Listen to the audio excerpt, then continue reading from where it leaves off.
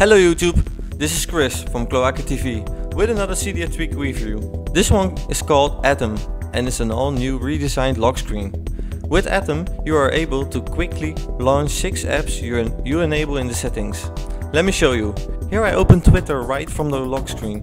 And if you want to unlock your device the normal way, you just go to the center, just like this. Atom is available in the BigBoss repo for $1.99. Let me know in the comment section what you think and your experience with Atom.